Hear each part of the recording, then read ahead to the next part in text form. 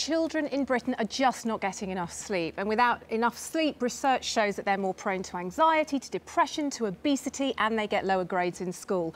And on a school night like tonight, if your child is under 10, they should be in bed by the end of this show. This is the ideal point to say that most sleep problems are behavioural, so any parent can sleep train their child, but there are cases which are medical, so it's always best to go to your GP or your health visitor before you start training. Lots of kids are motion addicts, so is Talia, so stop the movement and the baby has to learn to self-settle. We're doing gradual retreat, so you start near the cot and you gradually retreat overnight, over a number of nights as the child gets used to self-settling. And don't pick up from the cot during the night, just be there to reassure, but she has to learn to settle herself back to sleep.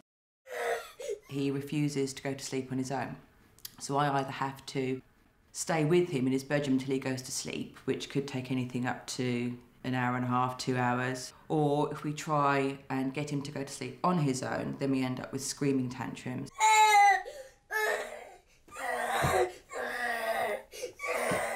Okay, so here's the sleep plan for tonight, darling. First of all, you are, well, we've seen you're outside the room now. You're doing uh, uh, this because we want you to reduce the dependency that he has on you. He needs to be able to fall asleep on his own. And look, he is lying there now, and I, I can tell you from what I see, he looks fine.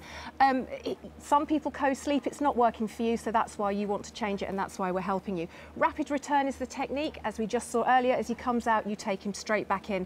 And we're resetting his body clock. He's been going to sleep so late. We're going to start putting him down later, and over the next few nights, we'll get his, his body uh, to sleep earlier and earlier. Just do whatever. So yeah, we're both up there until they both dead asleep. Having not had a full night's sleep in two years, the relationship is suffering. Intrudes on every other part of your life. Time for each other, patience with each other. So it upsets us both, really, doesn't it? Yeah.